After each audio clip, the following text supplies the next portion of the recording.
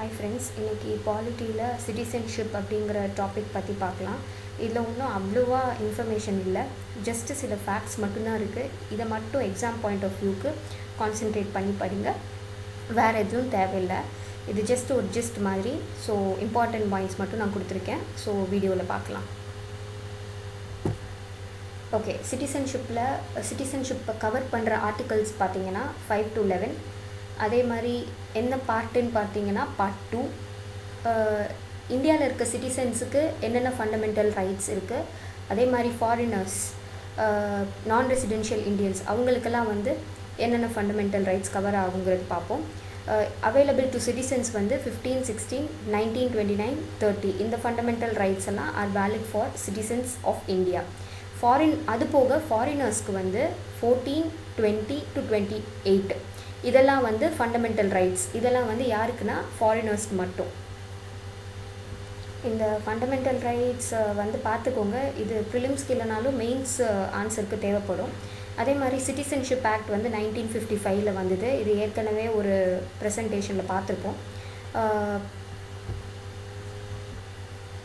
இந்த citizenship act வந்து நிறையா வாட்டி சேஞ்சஸ் பண்ணாங்க. எந்தெந்த இயரில் சேஞ்சஸ் பண்ணாங்கன்னா ஒன்று நைன்டீன் எயிட்டி சிக்ஸ் இன்னொன்று நைன்டீன் நைன்டி டூ இன்னொன்று வந்து டூ தௌசண்ட் த்ரீ இன்னொன்று வந்து டூ தௌசண்ட் ஃபைவ் ஸோ இந்த இயர்ஸும் பார்த்துக்கோங்க. இதெல்லாம் வந்து ப்ரிலிம்ஸ்லேயும் கேட்கலாம். மெயின்ஸில் ஆன்சராகவே வரும். ஸோ சிட்டிசன்ஷிப் அப்படிங்கிறதுக்கு மெயின்ஸில் ஒரு ஆன்சராகவே வரும். அதனால் இதை கொஞ்சம் நல்லாவே படித்து வச்சுக்கோங்க. நான் சொல்கிறது group one group two point of வியூலேருந்து சொல்கிறேன் மெயின்ஸ் இந்த அக்விசிஷன் ஆஃப் சிட்டிசன்ஷிப் ஒரு ஒன்றுத்துக்கும் மீனிங் பார்த்துடலாம் பை பர்த் பை ரெஜிஸ்ட்ரேஷன்னா நேச்சுரலாக இங்கே பிறந்தாலே சிட்டிசன்ஷிப் அப்படின்னு வந்து சொல்கிற மீனிங் தான். இந்த by birth and by registration by descent அப்படின்னா எங்கள் அப்பா வந்து சிட்டிசன்ஷிப்பு கிடச்சிருச்சு. அப்போ சன்ஸுக்கும் ஆட்டோமேட்டிக்காக சிட்டிசன்ஷிப் கிடச்சிரும்.